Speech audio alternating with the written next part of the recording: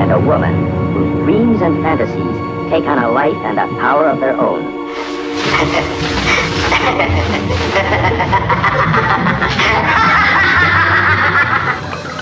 I began to float up and away from my body as my brain seemed to be held in the grip of a giant body.